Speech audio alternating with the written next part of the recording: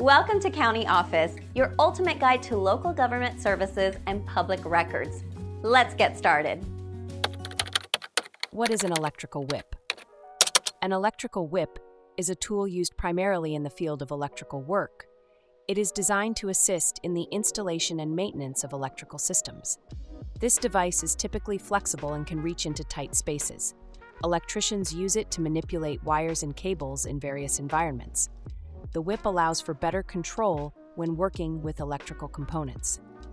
Electrical whips are often made from durable materials that can withstand wear and tear. They may feature insulation to prevent electrical shocks. This characteristic is essential for safety during electrical tasks. The use of an electrical whip can enhance efficiency. It allows electricians to perform tasks more quickly and effectively. Proper handling and technique are crucial to maximize its utility. While using an electrical whip, it is important to follow safety protocols. Electricians should wear appropriate personal protective equipment. This ensures protection against potential electrical hazards.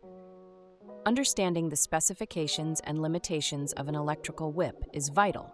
This knowledge helps in selecting the right tool for specific tasks.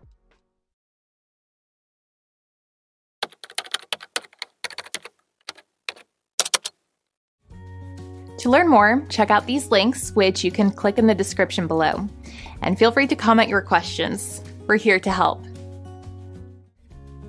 Thanks for tuning into our video. Please like and subscribe and leave a comment below. See you in the next video.